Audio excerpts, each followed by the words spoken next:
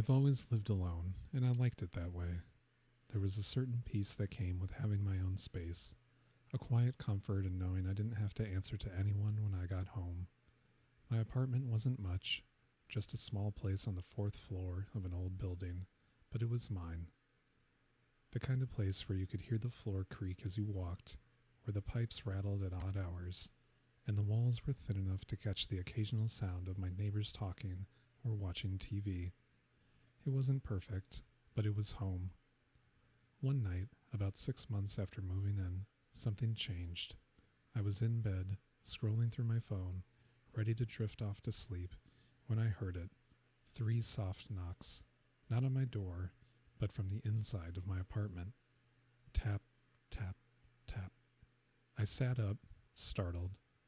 The sound came from the wall near the window, where there shouldn't have been anything to knock on. I stared into the darkness for a moment, listening, but the sound didn't come again. I convinced myself it was nothing, probably the pipes or the building settling, the usual noises that come from an old place. I tried to push it out of my mind, but that night I didn't sleep well. The next night, it happened again. I was just starting to doze off when I heard it. Tap, tap, tap. It was clearer this time, louder. Again, it seemed to come from the wall near the window, like someone was knocking from inside the wall itself. I turned on the light, heart pounding, and checked the room.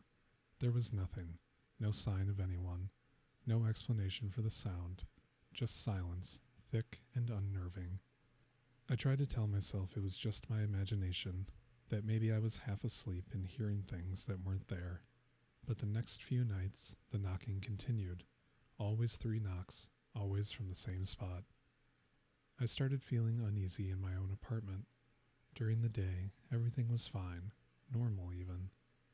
But at night, as soon as the sun went down, the atmosphere shifted.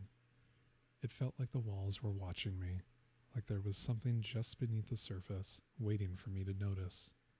A week later, the knocking changed. It was late, around midnight, and I was sitting on the couch watching TV when the knocks came again. But this time, they weren't soft. They were sharp, insistent, like someone pounding on the wall, demanding to be let in. My heart raced as I muted the TV and listened. Tap, tap, tap. I stood up, my pulse quickening. The knocks were so loud now, so deliberate, that they echoed through the apartment. I grabbed my phone, ready to call the landlord, but just as I was about to dial, the knocking stopped. The silence that followed was suffocating. I didn't sleep that night. The next day, I asked my neighbors if they heard anything strange. None of them had. They all gave me the same puzzled looks, insisting that they hadn't heard a thing. I even asked the landlord to check the pipes, thinking that maybe there was some kind of issue with the building's plumbing, but he found nothing. I tried to ignore it. I tried to convince myself it was just the building, that old places made strange noises, and there was nothing to worry about. But every night the knocking came back, and every night it grew louder, closer, until one night it didn't come from the wall, it came from the window. I was in bed, staring at the ceiling, unable to sleep, when I heard the first knock, not from the wall, but from the glass on the window itself. Three slow, deliberate taps. My breath caught in my throat, and I slowly turned to look.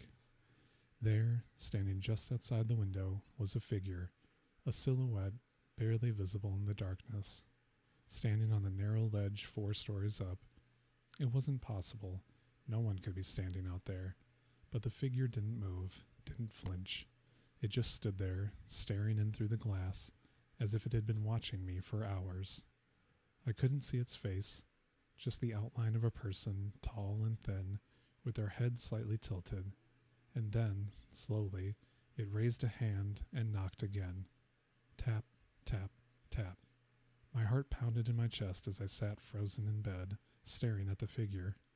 I wanted to scream, to move, to do something, but I couldn't.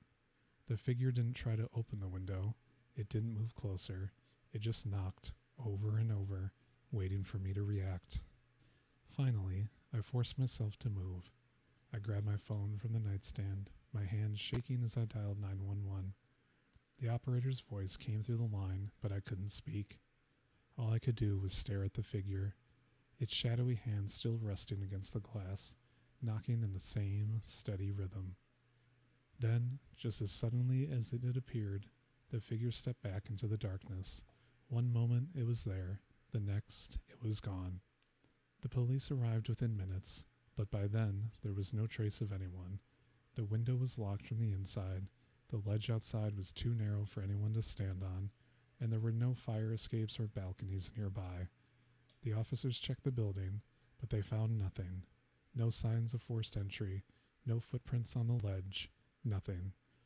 I moved out the next day. But sometimes, even in my new place, far away from that apartment, I still hear it, late at night, just as I'm drifting off to sleep. Tap, tap.